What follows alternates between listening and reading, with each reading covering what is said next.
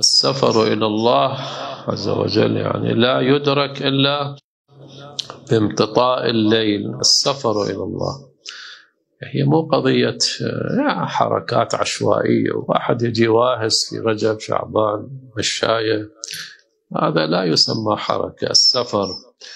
إنسان له سفر له زاد راحلة مبدأ منتهى. أما حركات هاي النفحات الجزئية واحد يسوق خمسين كيلو وبعدين يروح ينام لأربع أسبوع أسبوعين في الطريق. هذا لا يصل. السفر المتواصل. أكو سفر مشية على عكاز. وأكو سفر على أجلكم الله على الحمار. وأكو سفر بالدراجة وأكو سفر بالسيارة. وأكو سفر بالطيارة. زين يبدو صلاة الليل هو سفر بالطيارة وبالصاروخ. الذي لا يصلي صلاة الليل يصل ولكن يمشي سنة سنتين يقطعنا مسافة بسيطة.